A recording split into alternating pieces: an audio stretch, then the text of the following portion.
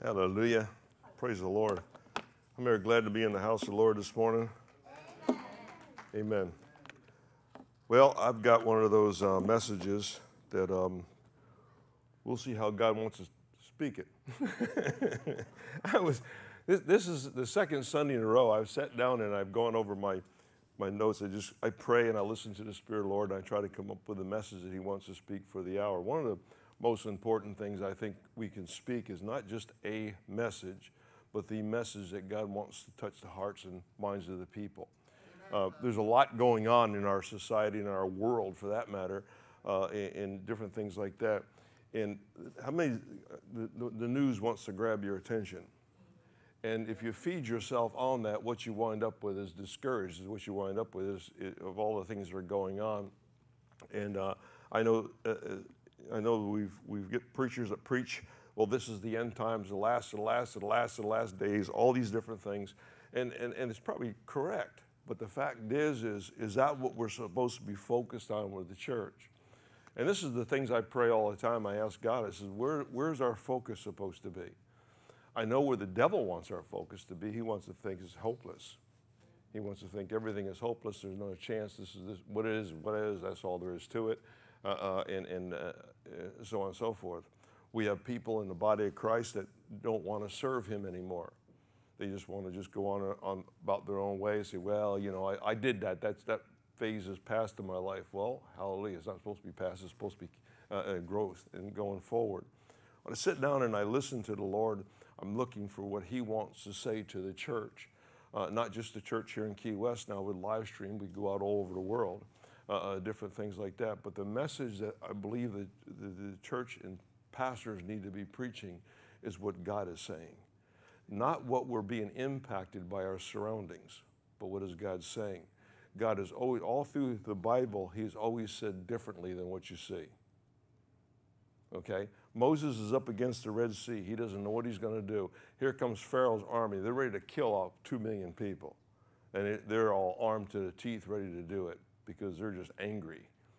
And Moses goes to God and said, God, what shall I do? He inquired of the Lord for the next move because it was the Lord's next move. And he said, What's that in your hand? Isn't it amazing how we're in a seem to be in impossible situ- circumstances, situations in this day and hour, but God is saying, What's in your hand? What's at your availability? The rod, of course, was in his hand, and he was talking about the rod. The rod represented the authority that God had given Moses. When he threw the rod down in front of Pharaoh, it turned into a serpent. When he picked the serpent up by the small end, what was God saying? You take care of the little end, I'll take care of the big end. And when he picked up the rod, it turned back into a rod. God so desires to co-labor through us. It isn't funny. I mean, we just, we, what we got to give him something to work with. And this is what I think about all the time. Am I, I talk about myself, I'm not talking about anybody in church, but myself. Am I giving God enough to work with so he can get the message out? My job seems to be to bring the message forth, to bring the revelation forth. I do other things. Uh, um, uh, I make sure the ministry here is running. We have Lighthouse Christian Academy, all the different things I begin to do. Uh, but am I, am I preparing myself and looking at the right things? Anymore, I've got to turn the news off. I'm telling you, and, and uh, because it seems like there's a big market and there's a, a lot of money being made for your fear. Because fear attracts, attracts attention, and they want the and, it, when it attracts the attention for us, this is what it, it, it pulls the attention away from what God wants to do, and it's, it's, it's kind of um, you know like that. But the fact is, anyway, let me get into my message this morning. What I what I saw out of all the things that we go through, all the things we, I see a great exchange. And that's the title of my message this morning, The Great Exchange. How many know Jesus did what he did? He said what he has said in the middle of conflict. Jesus never was without conflict. his disciples, even uh, uh, after his ascension, were never without conflict. And I wanted, uh, uh, but I, I noticed something.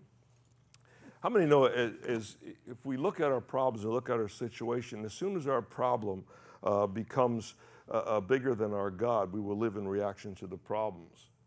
And the devil will have influence in our agenda. I'm going to say that again. As soon as we look as soon as we, uh, uh, our problems become bigger than our God. In other words, our problems are so bad we cannot see the answer. We cannot see God past the problems. Uh, oh, and, and, and then it, then it, it fluctuates over into our service, our service to God, our sacrifice to the Lord. What a sacrifice is. Sacrifice is a step above convenience. Okay, so it affects that. And basically, when it affects that, it takes our worship and our service and begins to diminish it to nothing more than a religion. And when it boils it down to nothing more than a religion, well, I, I can take it or leave it, I can do it, I can, I, I can come, I can go. When it comes to that, then the devil definitely has influence on your agenda. And as far as I'm concerned, he's not worthy to have influence on my agenda. Only God can do that. I'm a servant of the Most High God, and I'm going to serve Him. Amen. So that's so. As soon as my problems become bigger, that's where it usually starts, and uh, uh, that's when the devil uh, has has a play. Now, I'm like anybody else. I look at things and different things like this, and this is what I come up with. It says we can uh, uh, be encouraged every day by looking at what God is doing, or we can be discouraged every day by looking at what God is not doing. I'm going to say that again. I said, we can be encouraged every day by looking at what God is doing, or we can be discouraged every day by looking at what God is not doing. How many know the choice is ours this morning? I'm going to be reading uh, the scripture. The uh, scripture is going to be reading in Matthew chapter 11. Matthew chapter 11 is kind of an interesting uh, chapter for me. I'm going to read and start in verse 28, but if you take the verses preceding what I'm about to read, to put it back in context what Jesus was talking about, how many remember the three cities that he, that he, uh, he passed, he called judgment on? Okay, the three cities. I, I, like these three cities because when I went to Israel, every time I went to Israel, I had to check out these sites. They're right close together on the Sea of Galilee. There's, there's, uh, uh, um, uh, uh there's uh, Capernaum, there is Chorazin, and there's Bethsaida. Bethsaida is kind of interesting archaeological site when I go to Israel because that's one of the newest ones that they really found. And it's an interesting thing because Bethsaida is where Peter was from. That was his hometown. It was a fishing village. But I was as I'm standing in Bethsaida one time, and, and this has been proven. This is the archaeological site. This is where the city has been, and so on and so forth. And, and uh, it's kind of interesting because when I stand there in Bethsaida and I look over the Sea of Galilee, the Sea of Galilee is like a mile away the edge of the waters of it. And so for years, they didn't think this was Bethsaida. But then some brainiac got the, got the notion or the idea that around 400 AD that, that there was an earthquake that drained the Sea of Galilee. The Sea of Galilee is actually lower than it was during Peter's time. And that used to be the shoreline. It was quite, it's quite interesting. Plus, the earthquake caused a continental shift to move the whole whole ruins north. Israel's an interesting place anyway. But Jesus comes up to these, to these three cities and he says, and he, and he, he kind of cursed them. He says, listen, he says, if the signs and wonders and the miracles, because that's where he did his most miracles, if signs and wonders and miracles had been done in Sodom and Gomorrah, he said, they would have repented. He said, but your cities have not repented. He said, you, you have not repented one ounce. He said, all, all, most of Jesus' miracles were done there in that same area. He did more um, miracles in, in, Capernaum than any place. And uh, so, he, uh, uh, so he said, and uh, you go there now, these sites are desolate. There's nothing there, but they're just rocks and they're just uh, ruins. But Jesus said, he said, he said, in other words, when we, how we respond to the miracles of God makes a difference to the Lord. The response to the miracle is supposed to be repentance and that we're supposed to come back and seek Him. And Jesus is angry. There is no doubt about it. You can read it for yourself in the preceding verses. But he says, no, he says, he says, uh, uh, he said, in the judgment day, it'll be worse for you three cities. He takes them as cities as general it'll be worse for you three cities than for Sodom and Gomorrah. That's what he said. That's pretty bad. That's, a pretty harsh word. From that, he goes on in, in, in Matthew chapter 11 to where the verse I'm going to read in verse 28. Then he says this He says, Come to me, all you that are labor and are heavy laden, and I will give you rest. Jesus had something to say about the corporate city as a, as a whole But then he begins to break it down to the individual and says, Come on to me, all that need rest. What I do, I call this verse the great exchange. Because what we have, we come to the Lord with what we have, and He exchanges, He takes away what we have and gives us what He has. Did I say that right? We come give Him what we have, and He comes and gives us what He has. You, Are you here? Let me say again. He's invited us to come into His presence to take what He has, but to give up what we have. And in that exchange, something supernatural happens. And then he says this he says, he says Take my yoke uh, uh, and learn uh, upon you and learn. Uh, learn of me, and I am gentle, lowly in heart, and therefore I will find rest for your soul, for my yoke is easy and my burden is light. Now, how many know what a yoke is? Well, I'm talking about the, the egg you fried for breakfast this morning. Not that kind of yoke, but this is a yoke that uh, actually uh, will harness two oxen together or whatever for doing a workload. So God is saying, or, or the, the, the, Jesus is saying here, He said, all you that are heavy laden, in other words, you seem to be overworked. do we have any of those in our society anymore? I mean, yeah, those that are overworked, come to me. In other words, those that are overburdened. You can be overburdened by worry, fear. You can be overburdened by labor, physical labor. Uh, you can be overwork, uh, overladen. If you, like I said before, if you look at the society today, you look at uh, uh our, our, surroundings, it can be an overload uh, of discouragement and so on and so forth as you look at what's going on. Are you here this morning? Praise the Lord. So, uh, it, the attacks on Israel and different things like that, we stand behind Israel, by the way. understand something, church, that, that the, the spirit of anti Semitism is not of God, it's of the devil. Are you here? And it has a kin to the Antichrist spirit mentioned into the Bible. In other words, if Jesus was alive today, anti Semites wouldn't like him because he's Jewish. Hmm, then it would be an Antichrist spirit, wouldn't it? Okay, well, praise the Lord. It's the devil all along. The devil comes to kill, steal, and destroy, Jesus said in John chapter 10 but he said, I came to give you life and life more abundant. So the, basically, what happens if we focus on the wrong things, then basically Satan has influence in our agenda. So Satan is trying to grab attention any place he can. He's got the attention of some preachers where, oh yeah, this is the last of the day, last days, and we need to prepare. Uh, the church is going to be out of here. How many know the church right now is is is is uh, being called by the Spirit of God to begin to assemble to raise up an army. God left the church here for one reason, one reason only to change this world that we live in. God is not afraid, and the devil can do whatever he wants to do in the earth. He is not going to change God's agenda one iota because God doesn't listen to him. God doesn't take his orders from the enemy, neither should we. So Jesus is saying, okay, when the enemy comes in and you're overladen to this, he said, let's, let's do something. Let's make a shift or an adjustment in your life right now. In other words, come to me and I will give you rest. First thing he's going to do, he's going to, he's going to, let's calm down. Everybody take a deep breath, just calm down. Let's go into that rest. He says, then he says, he says, uh, uh, he says, take my yoke upon me. When we're coupled with uh, with, with whoever we're pulling with is pulling this load. Jesus says, I have a yoke, but my yoke is easy. Hmm, my yoke is easy? Why? Because basically the power of God will outpower anything you can put forth. The power of God is greater than anything you can hand over. But the thing is, here, we have to be hooked to Him. Not just know about Him, not just listen to the preaching of Jesus, not just listening to the words of Jesus, but we have to be yoked to him. That's different than just recognizing him. The devil recognizes Jesus.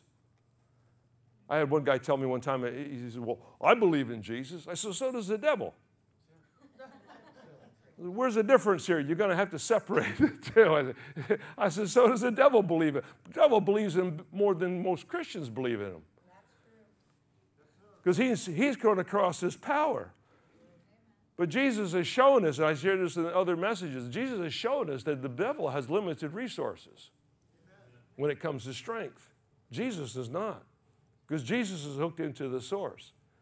We, we to look at, at the devil like the devil is the evil portion of the Father in heaven. Not even close. They're not even in the same category. The devil's a fallen angel that was created by God. how, how now can the creation be greater than the creator? Hmm. Maybe we ought to think about that next time we start making decisions away from God instead of towards God. Amen. Do we know more than the Creator knows? I don't think so. I don't think we'll ever get that smart. So I'm going to look at God as being the smartest one. So no, but the fact is, is he Satan has an agenda, and he's trying to pull the church and pull God's people away from the agenda. He don't care about the world. He knows they're already lost. He doesn't care about that. He's out to kill, steal, and destroy. This is what Jesus said. His only motive, talking about that, is, is to kill, steal, and destroy. So why would I take attention, get my focus on attention on what He is doing in the world over what God wants to do in the earth? So I want to take and uh, shift my attention. Why do I want to do that? Because I said years ago, I'm going to hook, be yoked up to Jesus. I'm going to be hooked up to Him. And to be hooked up to Him, I can't have a devil agenda. That's what that mark is around your neck. Because when you're insisting on doing your way, you keep pulling against that yoke, and it makes a chafe mark. Did you notice that? No takers in this. Uh, okay, praise the Lord. Amen. He, Jesus is going to pull the, the, in the correct direction. Anything you want to do beside that, if you claim to be yoked to Him, that yoke is going to be chafing. Are you here this morning? Praise the Lord. I'm in a good mood. I really am. I'm just, I am not meaning to preach hard. But how many know this for a fact? That there's three words in the Bible that describe the Word of God, describe the Bible. And in Jeremiah, Jeremiah 23, 29, it says, it says, Is not my word like a fire? There's one word, there's a description of God's word. It's not my word like a fire, uh, says the Lord, and like a hammer that breaks rock into pieces. So we have a fire, we have a hammer, and in Hebrews 4:12 it says it's a two-edged sword. I don't know about you, but I don't see a fluffy pillow in there any place. I don't even see a, a, a, a, a mattress, you know, what's that, memory foam mattress in there any place. The Word of God is not a cushy pillow or a. Eh, why? Because God is trying to hammer, and cha- hammer out change and bring the fire of the Holy Spirit within us and change our lives for the better. Because as human beings, we have a tendency to self destruct, with the devil's help, of course. But with, with God on our side, He wants to lift us up. So we have this place of exchange. Now, Jesus, you, you would think that out of all the people that walked the planet at the same time Jesus did, His disciples would be the smartest guys going. These guys would be on, on the cutting edge. But Jesus says in the book of John, he tells these guys, he says, uh, he, he says in John chapter 16, verse 12, Jesus is talking to his disciples. He's got them there as a group, not individuals. Did you notice that Jesus did not do, very, uh, do a whole lot with individuals? Now, there was a group of three that he did most of his uh, ministry with and, and uh, miracles. But he talked to the group of 12. Do you notice that God wants to talk to groups, not just so much individual? It's not about individualism, it's about the group because what happens is where two or three are gathered in my name, I'm there. That's one.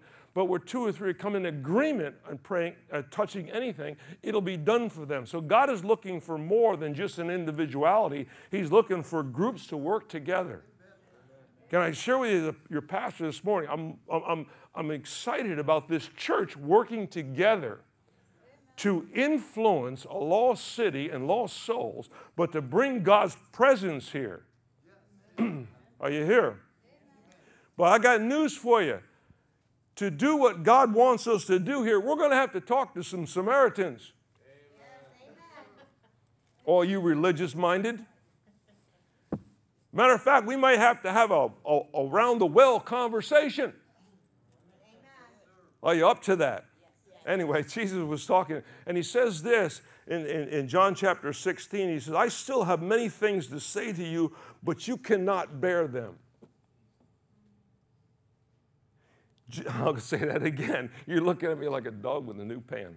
Okay, John chapter 16, verse 12. Read it in your Bible. This is the New King James, but I'm reading. It says, it says, I still have many things to say to you, but I cannot bear them. We're under the impression that because we have the Bible, because we have the Holy Spirit, that we know everything God knows now, and that we really don't need a whole lot of input, that we have everything we need to control our life. The devil is influencing your agenda. if nothing else on the pride, just on the pride alone. Praise the Lord.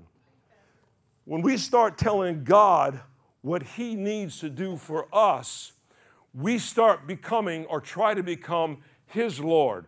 I remember a situation in the Bible where Lucifer said, I will exalt my throne above that of your heavens. And he was thrown out like lightning. Jesus said, I saw him fall out of heaven.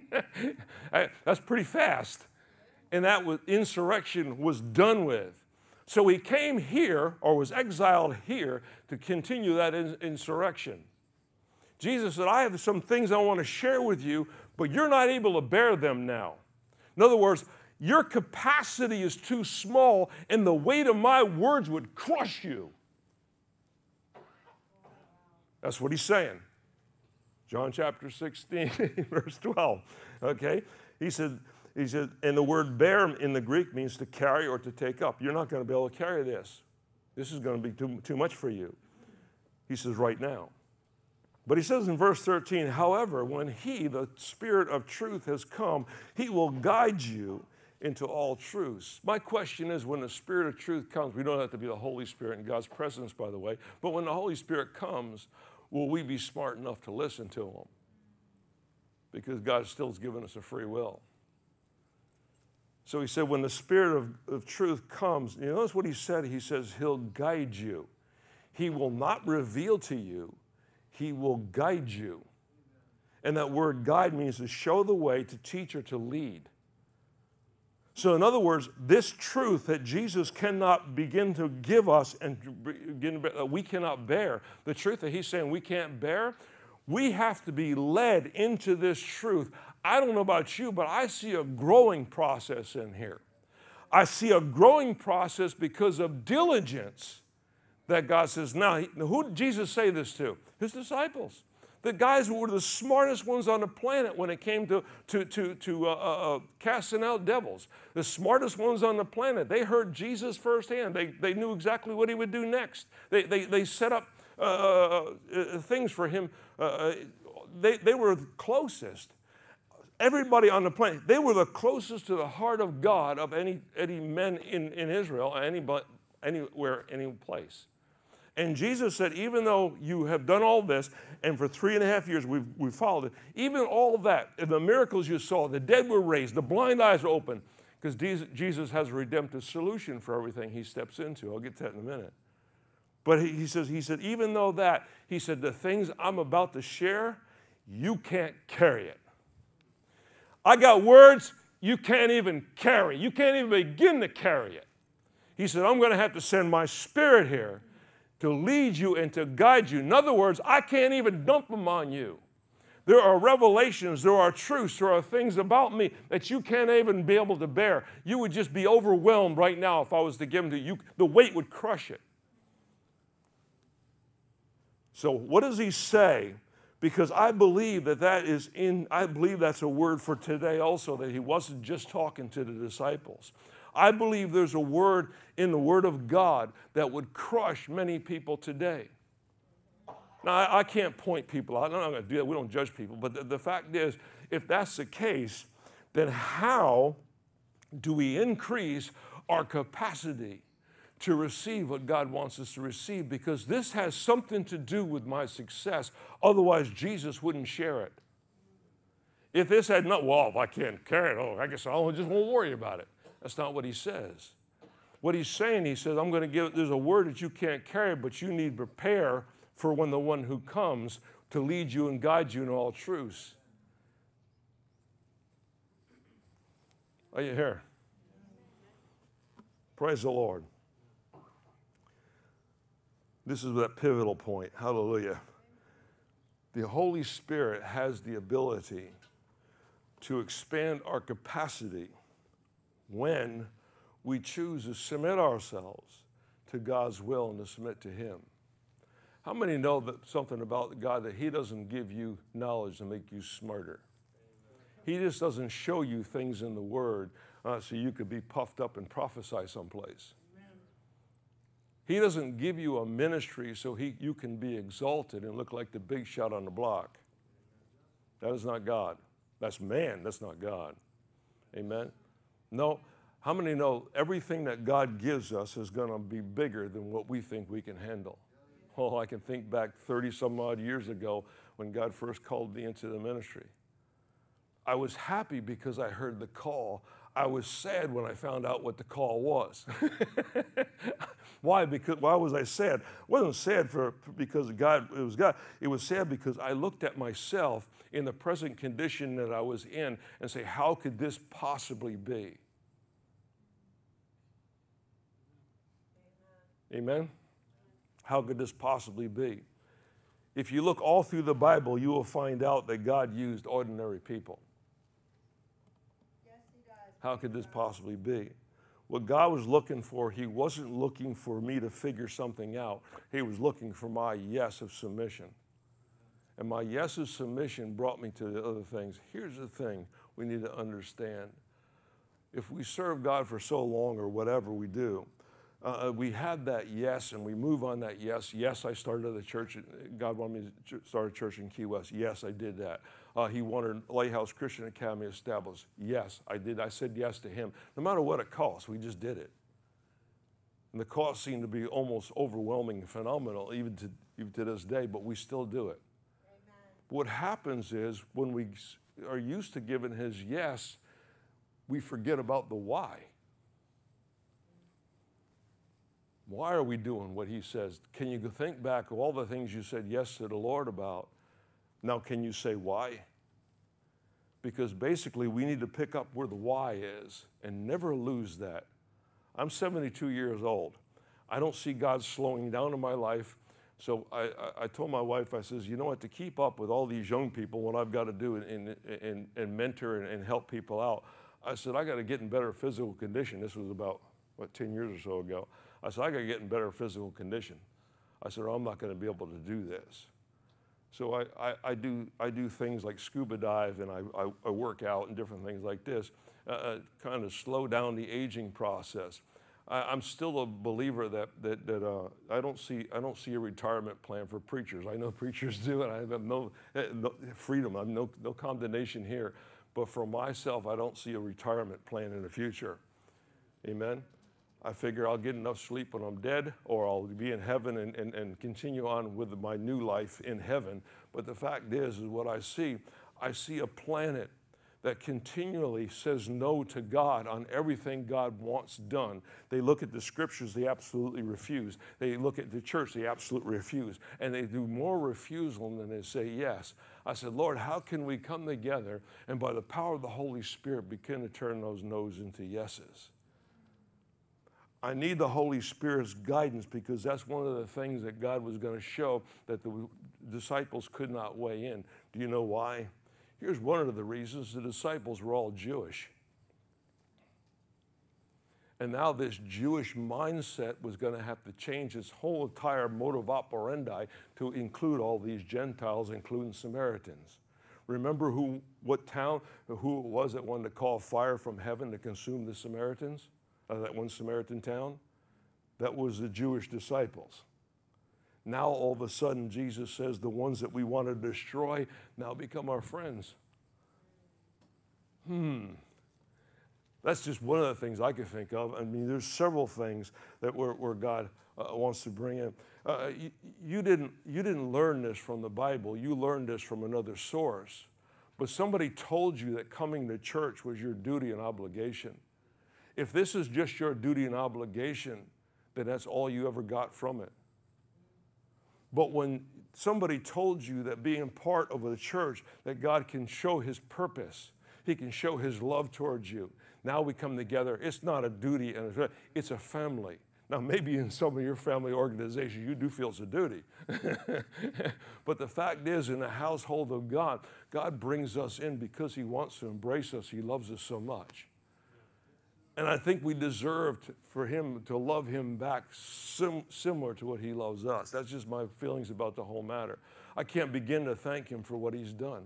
Because without being in the ministry and giving, put me in a, a place that He's put me into, a very tough town, okay, I, I would, I, I, don't know, I, I would be a different person because it was, I came to change Key West and Key West changed me.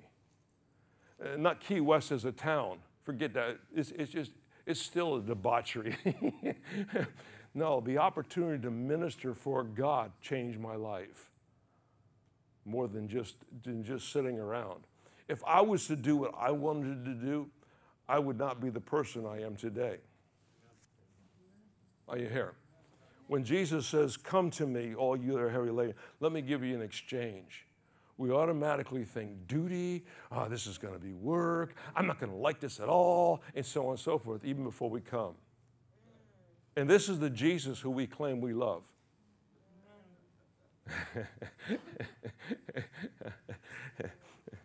Amen? Some of the humble might say, Well, I'm not qualified. He just qualified you with His word. Does His word not qualify you? Is there a higher word that qualifies you than the word of God? I don't think so. Amen. Obedience, you can put this in your notes obedience increases our capacity. That's what we're talking about. And when He speaks, He creates. All God has to do is speak. When He spoke church in Key West for me to pastor, it was already in the works. As far as heaven was concerned, it was already going to happen. If I didn't take up the job, somebody else would have. But it was going to happen. Lighthouse Christian Academy, I use the ministry we started. When God spoke that, if I didn't start that, somebody else would. Now we're only one of three uh, in, the, in, in, in the city of Key West, one of three, uh, because every, all, the other churches have given up on that plan for whatever reason, various reasons, and I understand the reasons, but we ward for through these things and keep things going on. Amen. Are you here? You don't have to make room for your gift, God will make the room for it. Amen? Praise the Lord. Ephesians chapter 2 and verse 10 says, For we are his workmanship, created in Christ Jesus for good works, which God prepared beforehand that we should walk in them. He's already established it. We get to walk in what he's established. Now, are we interested enough in Jesus to find out what he has for us? That's a question everybody has to answer individually. That's not a question for the preacher to use, uh, uh, uh, you know, uh, making people feel bad. No, that's not what we're supposed to be for. We're supposed to just share the message of what Jesus does. You make your own decisions. Praise the Lord. But we're here to help. Amen? That's, that's what that means. Praise the Lord. Isn't it amazing? Uh, uh, this thing always amazed me. It's Revelation chapter 2, verses 4 and 5 we have, a, we have the church of Ephesus. Go, I can talk to our church for just a minute. Uh, we have the church of Ephesus. The church of Ephesus, as far as Paul was concerned, because he never, we cannot find a, a, a sentence of rebuke against that church, ever. It was seemed like to be the most perfect church. They had a revival going that was off the hook. It was really going on. He sent Timothy there to do two positions. One as a pastor, the other as evangelist. And the uh, church of Ephesus was going on. The town of Ephesus was a tourist town. It was a vacation spot. Sound familiar to anybody? it was like Key West on steroids for the Roman Empire. And Romans would go there. There were houses of ill repute. There was all kinds of stuff. There's all kinds of debauchery going on. And Paul establishes a church right there in the middle of all that, and it became one of the perfect, most perfect churches in Asia Minor. Uh, all the, uh, and, but it's mentioned as one of the seven, and Jesus mentions this in Revelation chapter 2. And he says all the things that they did that was good. And then he comes down to verse 4 and he says, Nevertheless, I have this against you against it? What could you possibly find wrong? I mean, we would love to be a church like Ephesus. What could you possibly find wrong? He says, You left your first love. You left your first love. He said, Remember therefore where you have fallen and repent. He was calling a perfect church to repent. Maybe because they got mechanical in what they were doing. Maybe because they couldn't let go of some things of success, they just kept carrying them into the next move, and God wanted to do something different. Maybe it was like, I don't know, I wasn't there. Praise the Lord. I'm old, not, not that old. Amen. But he says, Repent and do the first works, or else I will come quickly and remove your lampstand from its place unless you repent. What happens when God moves, removes a lampstand? The only thing the church has to do without a lampstand is become a religious gathering. That's all it has. It has no revelation, it has no hope, it has no change in life. For right here, we're all looking to die so we can go to heaven. That's all it's looking for. It's removed its lampstand. It removes the revelation of God and will not allow God to come in and speak any more revelation truth because its lampstand is gone. Its light is gone. Its light is snuffed out. He says, either you do this, repent, or I'm going to remove that ability that you have for the revelation that I'm giving you. Because it's not being, uh, maybe it's because it's not being used. And all they did is, well, we forgot our first love. What was your first love? Why? It was the why that you had to put with the yes. Yes, I'll serve God. Yes, I'll do what you say, Lord. Yes, I'll start your church in Key West. I was prophesied about me. Now I have to wake up in the morning and say, okay, uh, 30, almost 34 years later, why? Why? Amen? I can do this. I get eight minutes. I can do this. Praise the Lord. I set my watch this time. Praise the Lord. Eight minutes, 38 seconds, 37, 36. Anyway, I, I can do this. Praise the Lord. I, I, I want to share something. Uh, it, it kind of goes along with, maybe this will help this morning. Is this okay? Okay, this, this is a message. I got a bunch of stuff running around my head uh, between the cobwebs. I was studying for the message this morning, and the whole idea was I had this. I had the exchange revelation back a week, a couple weeks ago. I just didn't, but I'm waiting for the time, and, and I heard from the Lord. In that study and preparation, and the things I do, I heard this phrase. I was looking at some things on YouTube and but I heard this phrase that said ancient landmarks, ancient boundaries. And all of a sudden it clicked.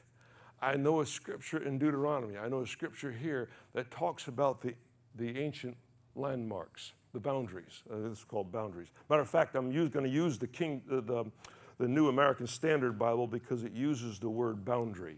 So let's stay with boundaries, okay? I think it describes it the best. Uh, this is kind of a, a revelation, uh, revelationary truth, but there's an understanding. Uh, how many know that? Okay, l- let me share some scriptures with you real quick. Um, uh, so you just you know I'm on the same pa- you're on the same page as me. Proverbs chapter 22 and verse 28. I'm just going to list some scriptures. You can jot them down and look them up. Do not move the ancient boundaries which your fathers have set. Uh, uh, uh Deuteronomy 19:14. It says, "You shall not move your neighbor's boundary mark which the ancestors have set in their inheritance, which, uh, uh, which you uh, will inherit in the land uh, that the Lord God gives you your possessions. If you go to the book of Joshua, you'll find out that Joshua uh, uh, gave allocations. We have a map back there with the different tribes of Israel got the allocations of the land when it came in the promised land. Those are landmarks that cannot be removed, is what he's saying. Do not remove those landmarks. He goes, in, he goes on to say in Deuteronomy chapter 27 and verse 17, it says, Cursed. Who? Cursed is he who moves na- his neighbor's landmark, and all the people shall say, Amen. Micah 2 5 says this, Therefore you will have no one to determine boundaries by lot. Now, lot is gambling. In other words, eh, eh, by lot in the assembly of the Lord. He's not speaking against gambling per se, but he's saying casting lots for land uses. In other words, that the ancestral plot cannot be put on the auction block because you need money. So the land is not yours to sell. The land is established by God because if you look in the book of Joshua, he established all those landmarks. You got this. I'm, I'm going to go to a spiritual meeting in a minute. Okay? But then I come across Paul. He says in the book of Acts, Acts chapter 17 and verse 26, he, he says, and he, uh, and he made blood of every nation, and, uh, and men dwell on the face of the planet. And listen, he talked about God and they determined pre appointed times and the boundaries for their dwellings. What happened, Paul was arguing with the Greeks in Athens and he was getting nowhere. They had all this, all this knowledge, and basically what they did, they had a group of people, all they wanted to do was know things. They didn't want to do anything about it, they just wanted to know things. That's, I'm serious. They, they just wanted, they just uh, uh, absorbed knowledge. So Paul's trying to tell them, and he, said, and, and he comes up to this place, and here's the, uh, uh, uh, the he says, this, ta- this town and this country is full of idolatry. He says, You even have a God called the unknown God, that you have an altar for the unknown, or a monument for the unknown God, just in case we miss one. I'm serious. You go back and read it. And, and, so he said, This is how it is. He said, Now let me tell you about the one true God. And in that, telling about that, he said, He's the one that sets the boundaries. You have a dwelling today because He put you here. You have this today because He's established you here. He set the boundaries. Now, with that said, I said all that. Uh, this probably will be a whole nother teaching about on itself, but uh, just indulge me for a minute. But, he, but the, so we have these boundaries. When Jesus comes into a situation, I don't care if it's blind eyes that need to be healed or whatever the healing situation is, poor people need to have uh, uh, uh wealth. He got his tax money one time out of the mouth of a fish. Okay, when Jesus comes into a situation, regardless of what that situation is, he brings a redemptive solution. I believe one of the thing, one of the things that he was talking to his disciples about, that when they came in, uh, that, that, they, that the crushing words that he could not give him, is that they now would produce the redemptive solution in everything they went. So, what Jesus did, just kind of abstract in a minute, I mean, just, just listen to the symbolism. Jesus set boundaries for which they should go. And the boundaries were bigger than what they can imagine. In other words, he says, You go lay hands on the sick and they shall recover. recover. What's the boundaries? All sick people are, are in the boundary. Whether we believe it or not. Okay? That's the boundaries that Jesus set. Here's a boundary. Okay, Kevin Kerr, you come to Key West uh, uh, 34 years ago. You come to Key West and you go ahead and establish this church. But my church isn't as big as a lot of the churches. My church is small, a lot of churches. Oh, are you looking at your neighbor's boundaries? I just hit on something that was a real problem in this town when I first came here. I don't know if it still is, I don't know. Pastors would get jealous even boards would get their pastors together, the, the, ones that were hirelings, and they could be fired if their attendance, church attendance went down. Now, understand something here. As far as I'm concerned, there ain't nothing here to get jealous over. it really isn't. Matter of fact, one guy was in a pastor's meeting one time, and he asked me, he says, he says uh, uh, do you know so-and-so, uh, uh, these people? I says, I've heard of them. Uh, he said, well, have you seen them pop up in your church? I said, why? You got a couple of sheep jump the fence? He said, yeah, as a matter of fact, I did, and I'm trying to find out where they went. I said, really? I said, do you need more sheep? Oh, yeah, I'll carry all the sheep I can get. I said, I got a couple I'll send you. No, he said, you never send me anybody any good. this is a conversation with two pastors, really? I'm laughing, I'm joking because I'm laughing with the guy. And I said, man, he's serious. I said, this is, this is something else. We're going to be jealous of somebody else's boundaries? Uh-uh. Understand something about this church, big, small, or indifferent. This church is placed here by God. Its longevity is because God said so, not because a man has desired it. that's for sure. Okay? And because he, he has set the boundaries, I'm satisfied with the boundaries. He can expand them if he wants to, he can shrink them down. There's one time he said, Your boundaries right now in this season, he says, You're going to go around the world and preach the gospel. And I did. Amen. From here to West Africa to South America, Central America, back again. Amen. But came back here. This was always home. God expanded the boundaries. Why? He was trying to train me to understand that His Word is paramount. It's not what we think church is supposed to be, it's what He says it's supposed to be. He sets the boundaries. Our boundaries have been sh- shifted back to where now we follow Christ. Well, Jesus, I'm not very good at laying hands on people. He doesn't care. Right. You can stink at it. but you can't move the boundaries. Here's the sad part. Church, listen to me real good at this last point I'm going to make. Here's the sad part. Are we using our entire boundary? I, I got thinking about a field uh, in, in Bible times, and a rich man would take and he would plant a field and he would, he would harvest that harvest, and he was commanded by the law to round the corners. Amen? It was called the glean. It was, and he was commanded to round the corners. What was that for? That was for anybody who didn't have their own field to go ahead and, and, and, and, and catch that wheat, and they could have that. That was, that was free.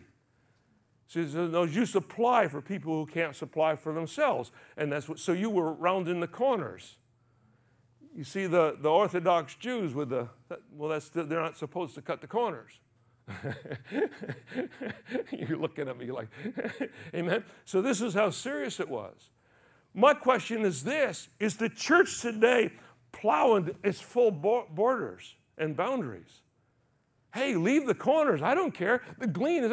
Matter of fact, uh, that's how Boaz met uh, Ruth, and Ruth met Boaz. Ruth came up and she needed, she needed some, some, some glean. She needed some uh, uh fields. And Boaz says, don't worry about it, honey. You just sit right here. I'm paraphrasing, of course. You sit right here. You, you, you, you. Go get the glean for her and bring it to her. That's not how it's supposed to work. She's supposed to be able to go get it herself, you know.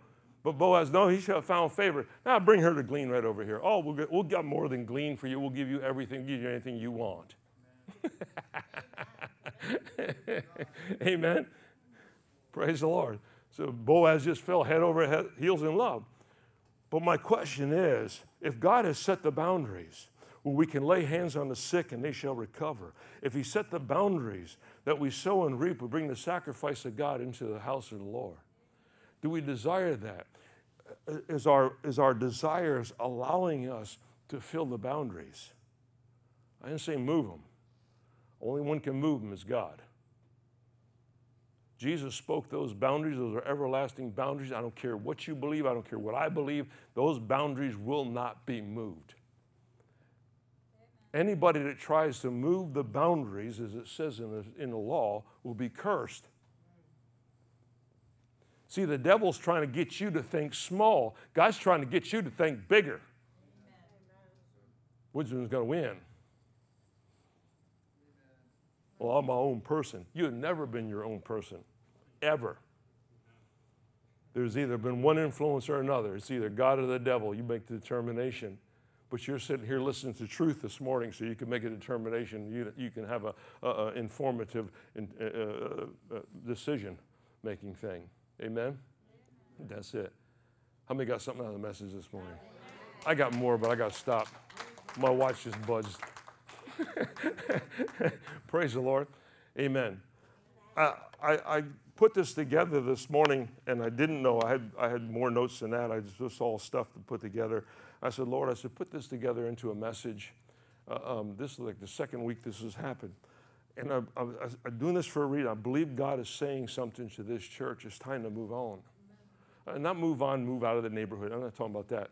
It's time to get rid of some of these old religious ideas, please. I don't care if you're brought up in religion, leave it in your past.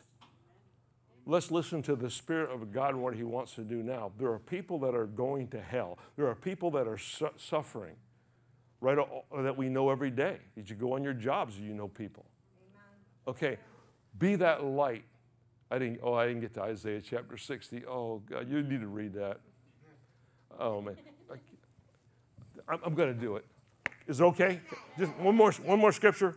I got to. Uh, now that I mentioned it, I just can't leave it alone. Isaiah chapter, I'll go real fast. Listen fast. I talk fast, so listen fast is Isaiah 60, verse 1. He says, Rise, shine, for your light has come. Everybody knows this one. And the glory of the Lord shall be risen upon you. For darkness shall cover the earth, deep darkness the people, but the Lord will rise upon you. In his glory will appear upon you. Listen to this nations will come to your light. I'm reading out the, the New American Standard Version. Nations shall come to your light, and kings to the brightness of your rising. Lift up your eyes around about. They shall all gather together. They shall come to you. Your sons and uh, your sons will come afar, and your daughters will be carried in the arms. What did he just say? Real quick, I gotta, I gotta go. But he's saying, Here you stand with this light. Arise, shine. We're just shining. And if not, I can just polish the top of my head and I really shine. Amen. Praise the Lord. We're just shining. Then what God says, let the glory of the Lord come upon you. So as we're shining as individuals, now God's in a position where He's placed us, God's glory comes upon us. Now we're so bright that the nations can see us and are drawn to the light in which they see. In other words, they like what they see because God adds to us. So we're standing here, He comes on us, adds to us. Man, I tell you what, we're the brightest people on the planet. I love it. I love it. That's what we're supposed to do. That's our position here in Key West. Just shine. If you don't know what to say, if you don't know what to do, just shine, but shine. Shine isn't grumbling and complaining, and it's not shining. It's dull. Shine is to be happy. Enjoy what God has given us. Enjoy His blessings, but don't forget where they came from. Amen? Amen? All right, that's it. Let's stand our feet. I got more, but I got to stop, or we'll be here next Tuesday. I'm here in this hour, the Spirit of the Lord is just pouring out and pouring out. So you got kind of a prophetic message this morning, but uh, I, am praying and hoping everybody in an individual setting can grab, grab something out of this word this morning that they can use starting next week. Amen. I'll put time it, but begin to use it.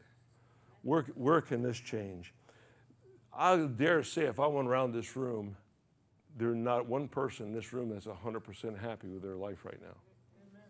I'm not guaranteeing any, anything here, but what I'm saying, I'm saying is let's examine why and let's examine the areas where they're not and see what, what the devil has influenced and what God needs to influence.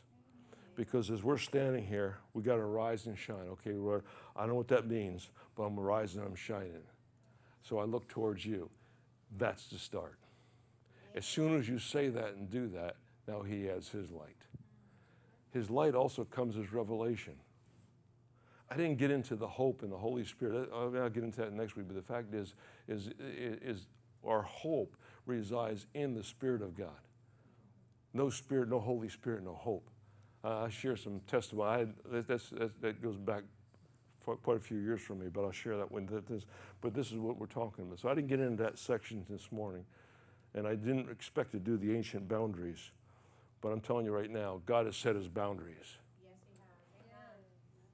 One thing I didn't say is that when the children of Israel came into the promised land, they stepped on some boundaries. And God's told them to do it. The boundaries of their enemy. Amen. They were allowed to walk on, even move, cause wars. God says, No, this promise is for, from Abraham, covenant. You got to understand covenant to understand it. This is your land. Kick out the illegal boundaries. Maybe some of you need to do that at home. Let's get rid of the boundaries that Satan has set up. Amen. And start letting God's boundaries be, be present there and established. Father, we thank you for your word this morning. I really do have to. We thank you for your word this morning. And we thank you, Father God, for the presence of God in here. Humble, we're, we're so humbled by your presence and by the revelation. I pray I preached something that didn't crush anybody this morning. But Lord, that we can all look at this thing because there's not one person in here that this word would escape. Father, this word is set forth for your church in this day and this hour. I believe it. I believe it's not just for this church, but it's the messages you're putting across in uh, our nation, across nations, and your churches, Father God, that are hungry to do the will of God in these last days, as they say. But Lord, really, last day or not, we're looking towards you because it's going to be a glorious church without spot or wrinkle. Hallelujah. Amen. Amen. We give you praise in the name of Jesus. Which get led up to another thought. I got to stop. I got to shut up. I mean, this is, amen.